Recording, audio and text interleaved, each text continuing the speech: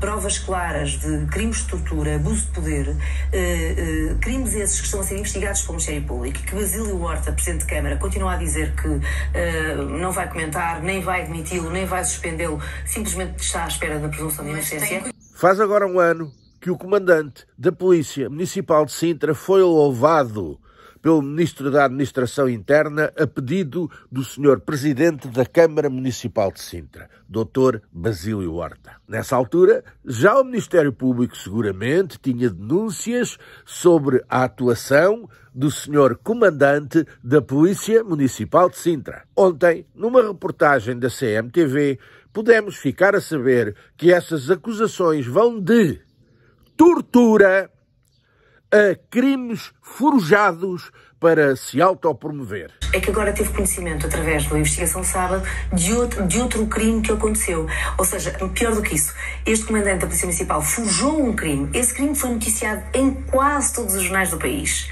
E uh, não aconteceu. Uh, a investigação sábado consultou o processo na Câmara de Sintra e verificou que esse crime que foi noticiado simplesmente não aconteceu e só foi criado, simulado pelo comandante da Polícia Municipal para que, de certa forma, pudesse cair nas boas graças da opinião colher pública. Os louros, como se costuma Exatamente, dizer. colher os louros. E o que vai acontecer agora, e essa é a única ação e repercussão uh, da, da, reportagem da investigação sábado desta semana, é que perante esse facto, Basílio Horta acaba de nos responder que abriu um processo de inquérito para averiguar o que se passou. Num país decente, este senhor já estava suspenso enquanto não acabar o tal inquérito que o Basílio diz que mandou agora fazer. E depois tiravam-se conclusões se tudo isto for provado. Demissão e afastamento, como é lógico, do senhor comandante e também do presidente da Câmara, Dr. Basílio Horta. Tenha vergonha, homem. O senhor até já tem idade para estar na reforma, tem quase 80 anos. Vá-se embora, homem. Vá-se embora, a sério, vá-se embora. Isto é uma vergonha. Tortura, tortura, acusação de tortura, com testemunhas na Câmara onde o senhor é dirigente e na Polícia Municipal de que o senhor é responsável e depois forjarem crimes para se autopromoverem. Nós aqui na Saloia TV andámos meses e meses e meses e meses a denunciar as lixeiras que havia aí por todo lado. Então, vai arranjar uma caminhonete, pôr no meio do lixo, dizer que aquilo estava a ser apreendido e na volta viu-se o que era na reportagem. Foi forjado, não apanharam absolutamente nada, mas mandaram aquilo para os jornais a dizer que sim, que tinham apanhado pessoas em flagrante. Tenham vergonha. Demitam-se os dois. Não andem a arrastar o nome de Sintra pela lama, que é o que os senhores andam a fazer.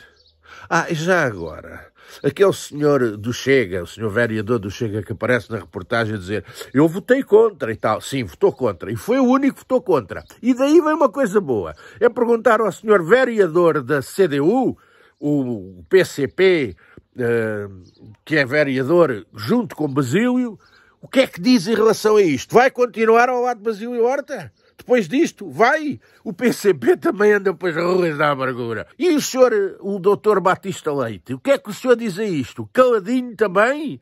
Hã? Caladinho? Não dizem nada? Estão todos cadelinhos que nem, que nem ratos? É? Que vergonha! Mas que vergonha! No conjunto das redes sociais, a Saloia TV tem cerca de 200 mil seguidores.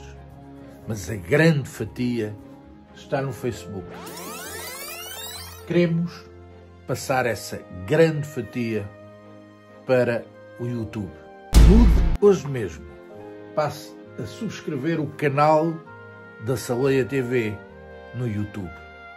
Ponha lá subscrever e é notificado sempre que colocamos os nossos vídeos online. E partilhe este vídeo, colabore connosco. Passe a seguir-nos no YouTube. Viemos para ficar sempre ao seu lado.